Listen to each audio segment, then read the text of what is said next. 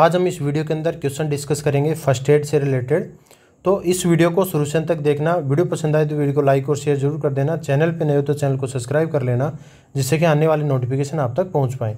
ये सभी क्वेश्चन वो क्वेश्चन रहेंगे जो प्रीवियस किसी न किसी एग्जाम के अंदर डिस्कस किए गए हैं उन्हीं प्रीवियस इंपॉर्टेंट जो क्वेश्चन है उनको इस वीडियो के अंदर डिस्कस करने वाले हैं तो क्वेश्चन नंबर एक से स्टार्ट करते हैं which of the following is a differentiating test between mucus and cerebrospinal fluid from a nasal discharge तो नेजल जब डिस्चार्ज होता है तो उसके अंदर जो जो फ्लूड होता है उसके अंदर अपन क्या चीज़ देखेंगे जिससे कि अपने को ये पता चल जाए कि ये म्यूकस है या फिर सी एस एफ का रिलीज हो रहा है तो जब अपन जांच करते हैं तो उसके अंदर अपने को अगर ग्लूकोज की मात्रा अगर निकल रही है तो अपने ये आइडेंटिफाई हो पाएगा कि ये सी एस एफ रहेगा सॉल्यूशन देखें measuring the glucose concentration of nasal discharge is a traditionally bedside test for the detection of C S F leakage तो यहाँ पर अगर ग्लूकोज का कंसनट्रेशन जब नेजल डिस्चार्ज से पता चल जाएगा तो ये पता चल जाएगा यहाँ पर कि सी एस एफ का लीकेज हो रहा है glucose oxidase sticks are wetted with nasal secretion and colour change is compared with a calibrator scale to determine glucose concentration next है question number two what is the mnemonics use for the first aid of sprain तो sprain के लिए अपन कौन सा mnemonics है वो use करेंगे तो राइस यहाँ पर राइट आंसर हो जाएगा option C RICE is the mnemonic use for the first aid of sprain the RICE method is a simple self care technique that help reduce swelling as pain and speed up healing and flexibility RICE stand for rest ice compression and elevation तो RICE की full form क्या हो जाएगी rest ice compression and elevation ये RICE की full form हो जाएगी यहाँ पर कई बार अगर क्वेश्चन पूछ लिया जाए राइस स्टैंड फोर तो यहाँ पर आंसर हो जाएगा rest ice compression and elevation the instruction for the RICE for the first forty eight hour after the injury RICE के लिए इंस्ट्रक्शन क्या रहेगा कि जो फर्स्ट फोर्टी एट आवर है इंजरी का वो यहाँ पर इंस्ट्रक्शन रहेगा तो सबसे पहले क्या करेंगे rest the injured part injured जो पार्ट है उसको अपन रेस्ट देंगे कब तक जब तक कि उसका पेन कम नहीं हो जाए नेक्स्ट है ice wrap and ice pack और cold compress in a towel and place over the injured part तो इंजर्ड पार्ट के ऊपर अपन आइस पैक है उसको अपन रखेंगे किसी न किसी टोवल के अंदर लपेट के और वहाँ पर जो कोल्ड कंप्रेस करेंगे आइस पैक के through continue for no more than twenty minute इसको बीस मिनट से ज़्यादा अपन नहीं करेंगे four to eight time a day और चार से आठ बार से ज़्यादा अपन इस आइस पैक को अपन अप्लाई नहीं करेंगे compression support the injured part with an elastic compression injured जो पार्ट है उसको अपन इलास्टिक कंप्रेशन से सपोर्ट करेंगे bandage for at least two day दो दिन के लिए elevation raise the injured part above the heart level to decrease swelling जब कोई इंजरी हो जाती है तो उस लेवल को अपन हर्ट से ऊपर रखेंगे जिससे कि उस पार्ट के अंदर स्वेलिंग ना हो अगर स्वेलिंग होगी तो जो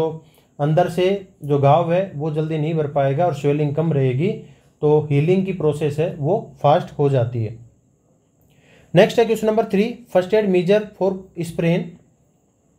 right answer is option B rest ice compression and elevation जो सेम अपन ने ऊपर देखा है वही क्वेश्चन है नेक्स्ट है question number four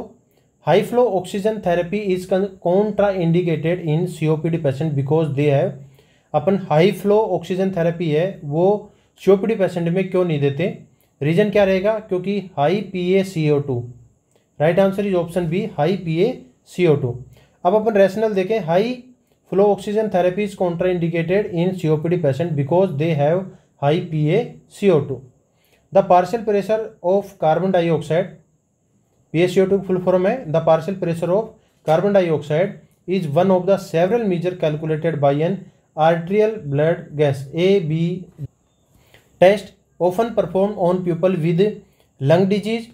neuromuscular disease and other illnesses P S U to specially evaluate carbon dioxide level in the blood having too much carbon dioxide in the blood is called hypercapnia मतलब कि जब blood के अंदर carbon dioxide की मात्रा ज़्यादा हो जाती है उसको अपन हाइपर कैपनिया बोलते हैं a condition common in people with late stage chronic obstructive pulmonary disease hypercapnia जो कंडीशन है वो लेट स्टेज जो होती है सीओपीडी की उसके अंदर देखने को मिलता है it is significant that smoking is a major risk factor for developing COPD COPD का डेवलप होने का जो मेजर जो रिस्क फैक्टर है वो क्या है स्मोकिंग राइट आंसर स्मोकिंग यहाँ पर अगर कोई क्वेश्चन आ जाए उसके लिए नेक्स्ट है question number five high oxygen delivery device is high oxygen delivery device कौन सा इसके अंदर से वेंचुरी मास्क है वो जिससे कि अपन फिक्स एक अमाउंट के अंदर ऑक्सीजन है वो पेशेंट को दे सकते हैं अब यहाँ पर ऑक्सीजन डिलीवरी सिस्टम है वो नॉर्मो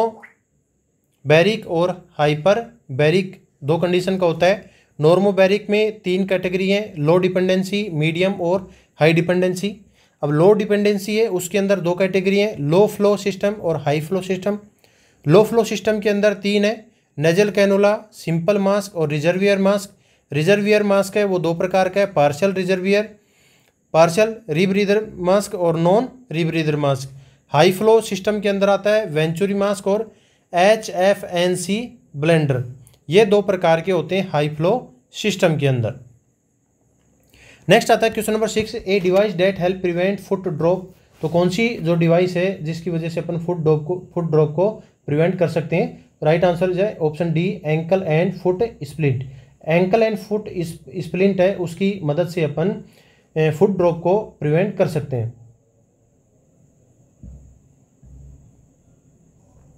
नेक्स्ट है question number seven which of the following is an immediate given to the to a patient with an excessive bleeding from an open fracture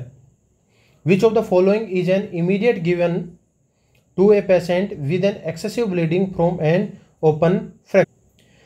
कोई पेशेंट है जिसको ओपन फ्रैक्चर हो गया है और एक्सेसिव ब्लीडिंग हो रही है तो उस पेशेंट के अंदर सबसे पहले नर्स का क्या एक्शन होगा वो इस क्वेश्चन में पूछा गया है तो राइट आंसर हो जाएगा option A pressure dressing to control bleeding तो जहाँ पर ओपन फ्रैक्चर हो रहा है तो वहाँ से अपन क्या करना है प्रेशर ड्रेसिंग करेंगे जिसकी वजह से ब्लीडिंग है उसको कंट्रोल कर सकते हैं अपन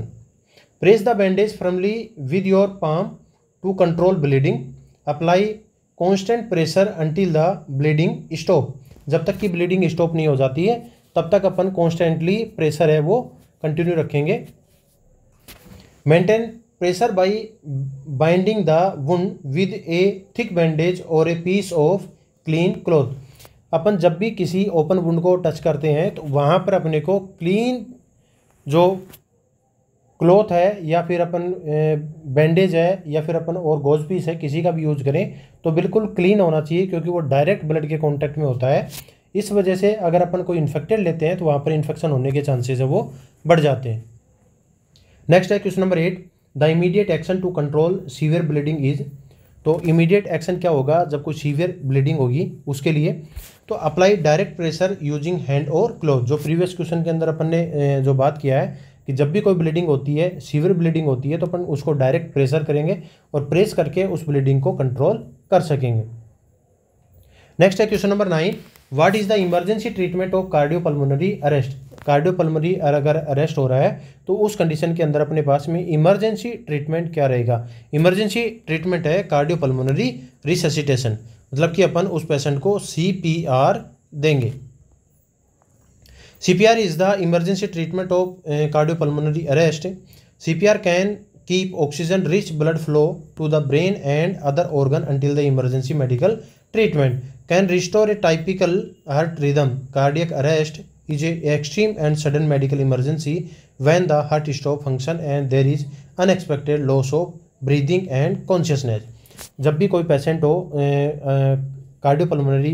अरेस्ट के कैटेगरी में जा रहा हो उस पर्सन को सी पी आर है वो मस्ट होता है सी पी आर जब अपन देंगे हार्ट पे प्रेशर पड़ेगा और जिसकी वजह से ब्लड है वो ब्रेन तक या फिर अदर जो बॉडी ऑर्गन है वहाँ तक पहुँच पाए इसलिए अपने को कंटिन्यू सी है वो देते रहना है जिसकी वजह से उस पेशेंट के जो ब्रेन है वहाँ तक ऑक्सीजन बाई ब्लड के पहुँच पाए और वो पेशेंट है वो बच पाए और जो हार्ट है वो काम करना स्टार्ट कर दे नेक्स्ट है question number ten an unresponsive child is laying on the floor you shout for help a check show that the child is not breathing the immediate action will be तो एक पे जो बच्चा है unresponsive है और वो ज़मीन के ऊपर पड़ा हुआ है तो आप उसकी हेल्प करना चाह रहे हैं तो सबसे पहले आप उसका हेल्प किस प्रकार से करेंगे जबकि उस बच्चे को ब्रीदिंग नहीं हो रही है तो राइट आंसर हो जाएगा A give external chest compression वही है सी का जो फॉर्मेट है जिसके अंदर कि अपन चेस्ट कंप्रेशन देते हैं वही चेस्ट कंप्रेशन इस पर्सन को या इस बच्चे को अपन देंगे जो अपन इमीडिएट एक्शन जो देंगे वो क्या रहेगा give external chest compression put two hand on the center of the child chest push down at least one third of the chest depth pushing deeply and steadily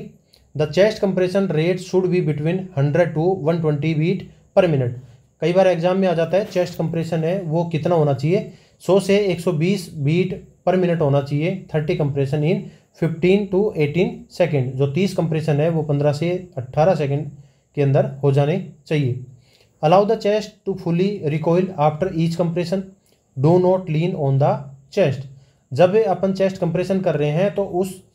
जो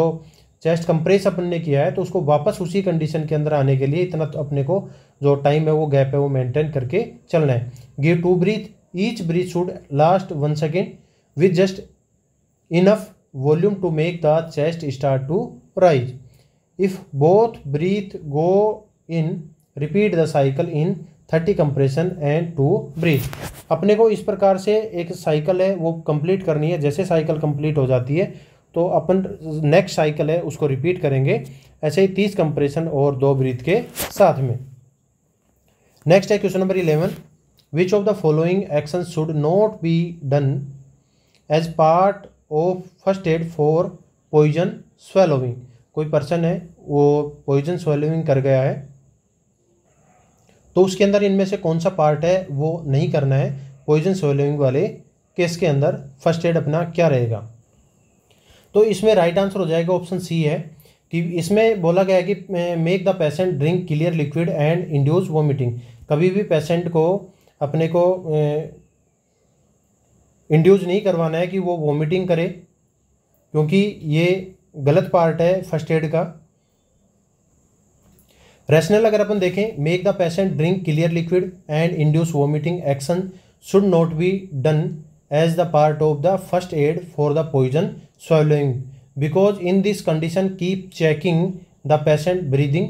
pulse and look for the clues then give the antidote of the poison in the patient तो सबसे पहले अपने को patient है उसको देखना है कि उसने क्या निगला है और उस पेशेंट की जो वाइटल्स हैं वो सब अपने को चेक करने वाइटल चेक करने के बाद में अपने को ये एक क्लू निकालना है कि इसने क्या इंजेस्ट किया है जो इंजेस्ट किया है उसी से रिलेटेड उस जो कंडीशन है उसका एंटीडोट है वो उस पेशेंट को देना है इस प्रकार से अगर अपन करेंगे तो पेशेंट की जान है वो बच जाएगी what is the first aid for bleeding nose अगर कोई पर्सन है उसको नोज ब्लीड हो रहा है तो फर्स्ट एक्शन क्या रहेगा tilt the patient forward and ask for mouth breathing तो पेशेंट है उसको फॉरवर्ड करना है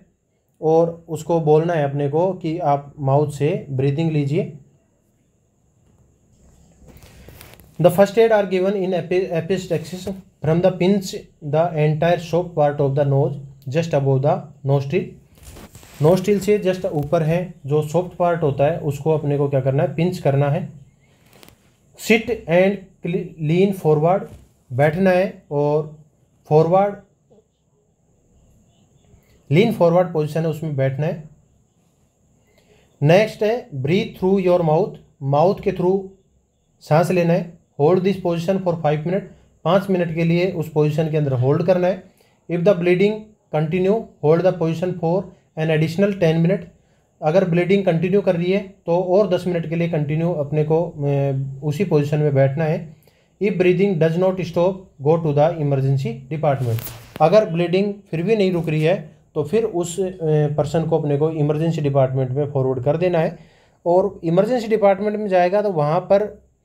उसको नोज नेजल पैकिंग भी कर सकते हैं अगर जैसे कि अगर ज़्यादा दिक्कत हो रही है या फिर जो इंजेक्शन है उसके थ्रू भी उनको रोक सकते हैं इंजेक्शन में ट्रेनेक्सा लगाया जाता है और जब नेजल पैकिंग करनी होती है तो नेजल पैकिंग के लिए एक क्यूब एक गोज पीस है वो नाक में डाल के और उसको अंदर पैक कर दिया जाता है या फिर आजकल आर्टिफिशियल आ रहे हैं उसको इंसर्ट करके और एन एस है उसको डाल देते हैं जिसकी वजह से वो फूल जाता है और नोज है वो पैक हो जाता है और पैक हो जाता है तो उसके ऊपर कंप्रेस हो जाता है जिसकी वजह से जहाँ से ब्लीडिंग हो रही है वो ब्लीडिंग है वो रुक जाती है नेक्स्ट है question scalds mean it is a burn cause by moist heat scald means it is a burn cause by moist heat a boiling burn is something cold as is called it can also result from contact with steam hot water scalding can cause pain and damage to the skin from moist heat और vapour this type of burn can be dangerous because it destroy affected tissue and cell next है question to do first aid for a needle stick injury in the finger तो सबसे पहले क्या करेंगे needle stick injury हो गई इस condition के अंदर तो करेंगे wash the wound with soap and water the first aid for a needle stick injury in the finger is immediately wash the wound and surrounding skin with water and soap and rinse ये question है एम्स के अंदर भी पूछा गया है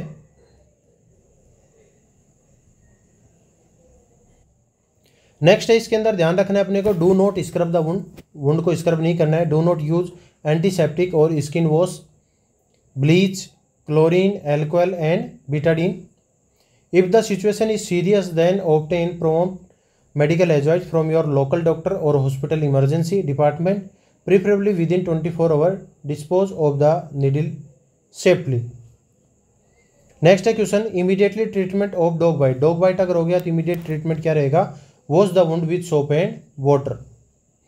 immediately treatment for the dog bite is wash and wound with soap and water gently press a clean cloth over the wound to stop the flow of blood. Apply an antibacterial ointment to the wound. Cover with a sterile bandage. Watch for sign of infection. Seek help if you suspect infection or possible exposure to rabies or if the wound is severe. तो first जो इसके अंदर पूछा जाता है maximum exam के अंदर ये क्वेश्चन आ चुका है कि इमीडिएटली ट्रीटमेंट क्या होगा डॉग बाइट का तो यहाँ पर जो राइट right आंसर रहता है wash the wound with soap and water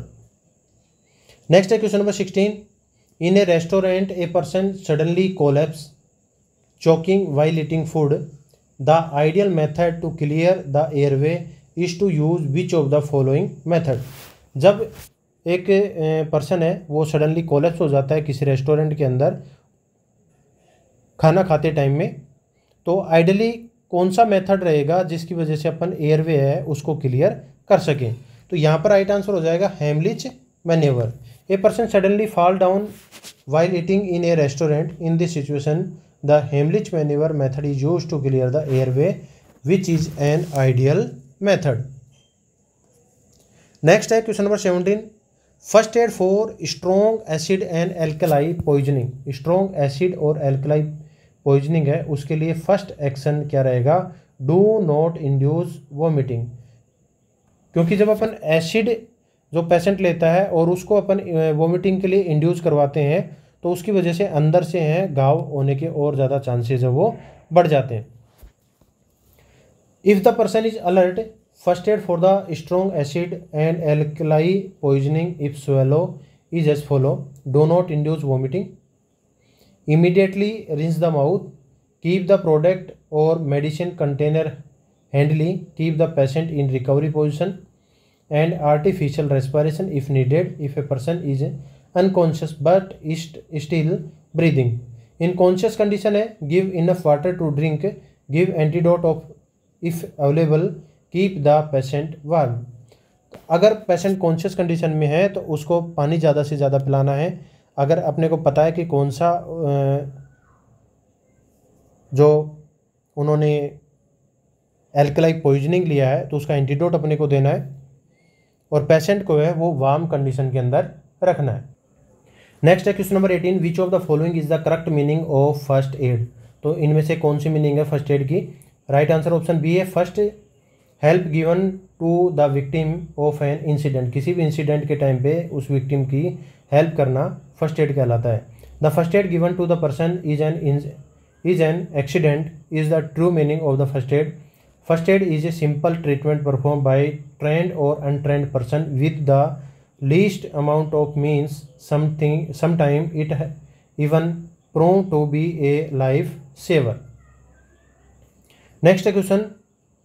if you are making a call in case of emergency what are the three डब्ल्यूज you need to inform why when और where three W का meaning है why when और where if you are making a call in case of emergency then why when and where should you give information about these three डब्ल्यूज next है question number twenty which what treatment does a victim need whose life-threatening condition is not breathing, 12 or 15 rescue breaths per minute and correct CPR.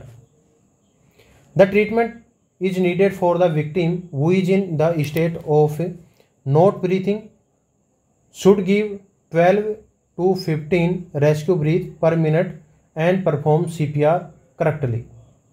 First aid for a minor dog bite is minor dog bite के लिए first aid क्या रहेगा wash with water and soap जो previously अपन ने question के अंदर देखा है नेक्स्ट है question number twenty two in the treatment of a chemical burn you should run the area under the cool running water for how long twenty minute जब कोई पर्सन है केमिकल बर्न हो जाता है तो उस एरिया को जो कूल वाटर है उसको कितनी देर तक अपन रनिंग करके और उस पर्टिकुलर पार्ट पे अपन पानी चलाएंगे तो यहाँ पर आ जाता है ट्वेंटी मिनट के लिए in a chemical burn treatment you should keep the area in a cold water for twenty minute due to which the burning life is reduce and the amount of chemical dissolving in the water जब अपन continue अगर बीस मिनट तक अपन cold water के साथ में वहाँ पर चलाते रहेंगे तो जो केमिकल है वो रिड्यूस हो जाएगा क्योंकि पानी के साथ में डिजोल्व हो के वो भी बहता रहेगा नेक्स्ट है question number twenty three if a patient faint the first thing you should do is pull cool water on their face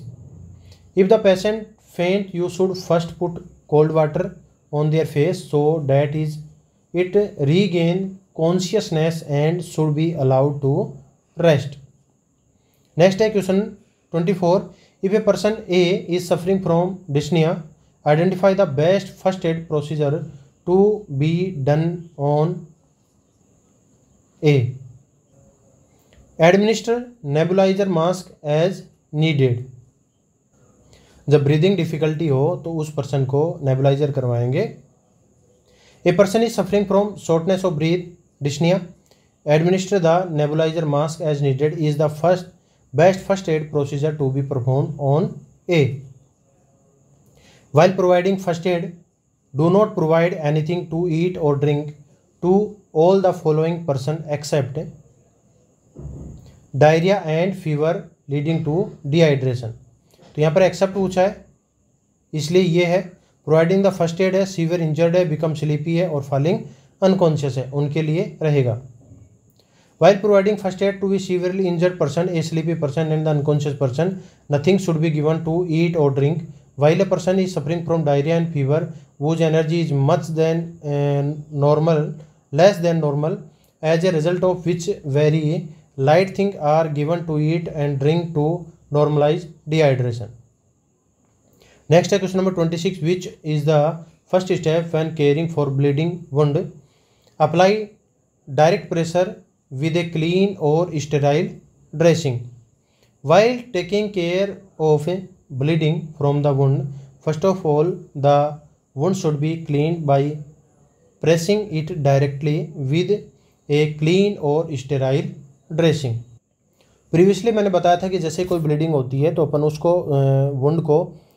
clear करने के लिए जो ब्लीडिंग को रोकने के लिए सबसे पहले अपन क्या करेंगे स्टेराइल ड्रेसिंग है या स्टेराइल गोज पीस है स्टेल बैंडेज है उनके थ्रू अपन यूज करेंगे जिससे कि वहाँ पर इन्फेक्शन होने के चांसेज ना रहे नेक्स्ट है question number twenty seven would wound dressing is done by using जब वुंड की ड्रेसिंग करते हैं तो अपन कौन सा मेथड यूज करते हैं तो यहाँ पर आ जाएगा सर्जिकल एसेप्सिस मेथड है वो अपन यूज करेंगे wound dressing is done by using surgical asepsis surgical asepsis also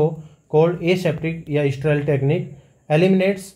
microorganism before they can enter an open surgical wound और contaminate a sterile field next है question number twenty eight the essential of primary health care all of the following except तो यहाँ पर भी except का question है तो option D आ जाएगा यहाँ पे providing higher education for all there are eight essential component of the primary health care तो प्राइमरी हेल्थ केयर के आठ जो इम्पोर्टेंट जो कंपोनेंट है सबसे पहले आ जाता है water sanitation nutrition maternal and child health immunisation prevention of endemic disease treatment drug availability और एजुकेशन ये आठ कंपोनेंट है प्राइमरी हेल्थ केयर के नेक्स्ट है a forty year old unconscious patient is brought to the casualty following road traffic crash his blood pressure was eighty by sixty M M O पैजी what will you do first तो एक unconscious forty year का patient है वो casualty के अंदर आता है road traffic crash की अंदर तो ब्लड प्रेशर है उसका एटी बाई सिक्सटी तो सबसे पहले आप क्या करेंगे तो सबसे पहले हम एयरवे को प्रोटेक्ट करेंगे protect airway will first measure for an unconscious person with a blood pressure of eighty by sixty M O H G this procedure ensure an open passage for gases exchange between the patient lungs and the environment and clean the first obstructed way this procedure is use in disease such as anaphylaxis nervousness and fainting तो इस part में हमने first add के जितने भी question देखे हैं important हैं जो कि बार बार रिपीट होते रहते हैं एग्जाम के अंदर उन सभी क्वेश्चन को डिस्कस किया है अगर ये सीरीज आपको पसंद आ रही है तो इस सीरीज़ को दबा के लाइक करो वीडियो को दबा के शेयर करो और चैनल को दबा के सब्सक्राइब करो जिससे कि आपको आने वाले और नोटिफिकेशन है वो मिल पाएँ और हमें भी मोटिवेशन मिले कि आगे और वीडियो आप तक ज़्यादा से ज़्यादा प्रोवाइड करवाते रहें चैनल को सब्सक्राइब कर लीजिए और व्हाट्सएप और टेलीग्राम ग्रुप से जुड़ जाएं लिंक वीडियो के डिस्क्रिप्शन में दी हुई है बीस हज़ार से ज़्यादा कैंडिडेट हैं टेलीग्राम पे जुड़ चुके हैं आठ हज़ार से ज़्यादा कैंडिडेट हैं वो व्हाट्सएप पे जुड़ चुके हैं और पचास हज़ार से ज़्यादा नर्सेज आपका एप्लीकेशन डाउनलोड हो चुका है उसको भी डाउनलोड कर लीजिए जिससे कि वहाँ पर आपको टेस्ट सीरीज अवेलेबल हो सके